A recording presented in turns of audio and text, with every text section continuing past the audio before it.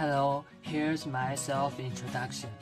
My Chinese name is Liu Xuanzhen. The first name is Xuanzhen. The last name is Liu. And you can call my English name Peter. I come from Shaanxi province and study in Shaanxi province as well. In Xi'an Translation University. Major in English so you can see the importance of the spoken English for me. That's also why I want to join this program.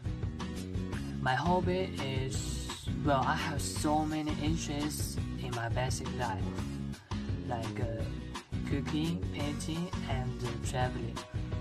Uh, from the first two points, uh, I'll show you some pictures of mine in the ending of this video and I think you will enjoy my masterpiece. And uh, from the traveling, I always go out like uh, Beijing, Hangzhou, and uh, Chengdu. I never go abroad, but I want to take this chance to improve my spoken English and uh, have a good experience in the America.